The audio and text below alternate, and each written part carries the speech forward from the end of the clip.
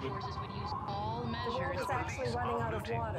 Water. Water wars. We are killing for gasoline. Getting close to the magical freakout. Help! Help! Help!